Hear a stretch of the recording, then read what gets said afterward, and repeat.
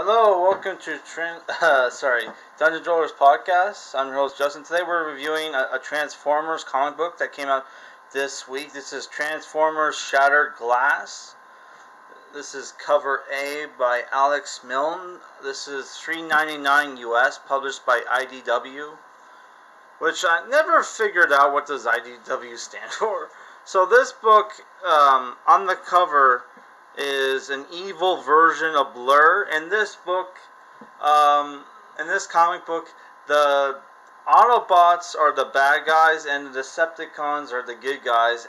And because of that, they made the Autobots look more villainous and the Decepticons more heroic, right? So in this book, uh, it's about this this uh, bounty, bounty hunter or body scrapper, as they're called, called Blur. Yes, that's Blur. Who sometimes he talks flat, fast, sometimes he talks normal, right? This is written by David, sorry, Danny Lore, and art by Guido Guidi. All right. This, like I said, this came out this week. All right. So here's some art. Uh, he's like dragging along uh, a, a dead Decepticon. I think that's a headmaster. I'm not 100% sure. I still need to um, watch uh, some old Transformers cartoons.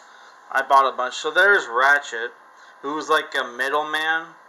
Uh, Blur goes in to get paid for his uh, bounty and gets told about a job where about uh, where um, Goldbug, which in this comic book, Cybertron is controlled by three factions of the Autobots: Goldbug, Prowl, and Optimus Prime, and they're currently in Gold City, which is run by uh, Gold, Goldbug. Which Goldbug, if you ever watched the old cartoon, you know Goldbug is basically Bumblebee after he like came back to life and was given a new form.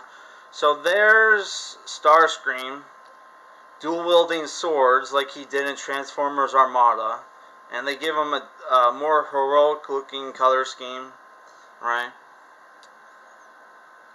So yeah, uh, in this book, yeah, yeah, in this comic book, Blur um, takes the job to to capture uh, Starscream alive, but you know he needs to protect him from other body scrappers, right? And the entire tr- time he's trying to gain uh, Starscream's trust, but like Starscream doesn't trust him at all, and uh, he doesn't tr- trust him. But like St- Starscream is wounded and he can't fly away, so he comes up with this plan. It, this plan to uh, lure, lure, uh, lure Blur to the Vikinos and get him trapped, right? And then you see uh, Blur get like encased in like uh, melt like an ash or whatever, probably dead. And Starscream flies away, and he's going to meet Megatron. And there you get a, a preview of what Megatron looks like.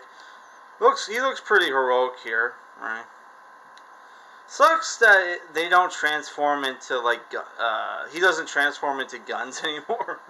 it's usually like what, like a tank or like a jet or something, right? Yeah. Also, there's a preview. Here's like the different covers, which all have blur on them on it. Which man, I really love this version of this version of Blur. If I was still collecting Transformers, I would probably get one. Alright. And you get like a four issue preview of the five, a four sorry four page preview of Transformers King Grimlock, which is going to be a five issue miniseries with uh, Grimlock on some like savage planet, and it's written by Steve Orlando with art by uh, Agustin Padilla. Okay. So yeah, the, the, that looks cool. So like, uh, I actually enjoyed this comic book. There was some cool action. Some um, the plot was kind of cool, where you got to see like you know a what if story of what if the Decepticons were good, good, and the transform sorry the Autobots were evil, right? And there's some cool color schemes that they come uh, they came up with. And I gotta say, I love Blur's this design in this book. And uh, Starscream's design wasn't too bad, but you know, uh, I, I felt like they could they could have made them look more cooler. But you know, they they want to keep to the G1 design as much as possible because G1 Transformers sell a lot, right? So overall, I love the action, character design, and the story. So I'm giving this a 7 out of 10. And it's at a decent price, you know. Though I think this is like at least 5 bucks Canadian. Right?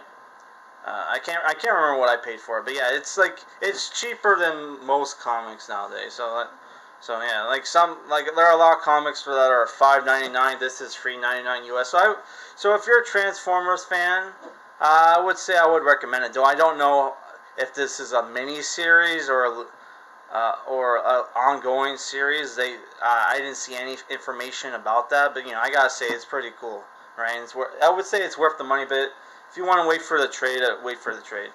So yeah. Um, so my next review is going to be Lester of the Lesser Gods, and then after that, um, in another week or so, probably less, I'll be finished my Doom Patrol Silver Age Collection Volume One. I'm like I, I already got to the part where Mentallo uh, shows up, so I think I'm like I have like six issues to go and I should be done. All right.